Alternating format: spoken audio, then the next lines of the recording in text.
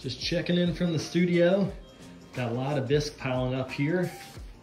It's been a little crazy with Zosha being so little, so you can see I'm just making, making, making, and procrastinating on glazing. But hopefully that's coming soon here. We have a special on Patreon this month for the subscribers. So if you are a podcast fan and you want to support the show, you can get a free t-shirt if you join this month. So just go to patreon.com slash redclayrambler and subscribe at any level and we'll get you a free t-shirt. And here's the t-shirt. It's the Ramble On 10 year anniversary t-shirt.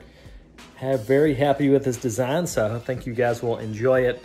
Go ahead and subscribe today. It's patreon.com slash redclayrambler. Thanks.